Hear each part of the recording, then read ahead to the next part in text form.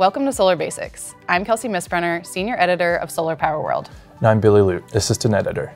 Solar inverters are the hardest working component of a solar array, as PV Evolution Labs described in its inaugural PV Inverter Scorecard. Inverters are solely responsible for more operational functions than any other PV system component, and these duties have continued to grow as systems get smarter and increase interaction with the utility grid. So what exactly does an inverter do? Its basic function is to convert the direct current power that solar panels create to alternating current power that is usable in homes and businesses or fed directly into the grid in front of the meter projects like utility scale solar arrays.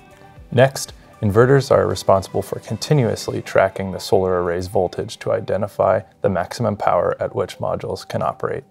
This ensures the project is producing the most power possible at all times. Inverters are also in charge of interfacing with the grid Thanks to advanced software, smart inverters can perform specific grid-supportive functionalities related to voltage, frequency, communications, and controls. These communications help prevent blackouts.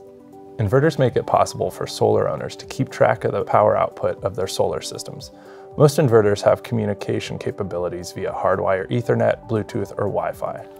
This communication connectivity can put inverters at risk for cyber attacks, but scientists are working on solutions to mitigate this possibility.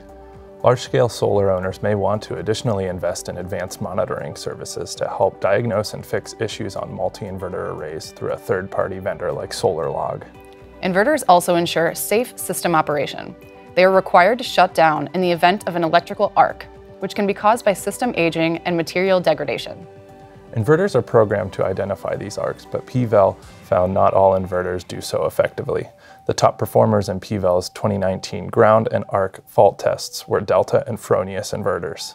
Inverters are a crucial part of a solar system, and their duties are constantly evolving as both the grid and solar projects get smarter. For more on solar inverters, read our story online and stay tuned for the next Solar Basics videos.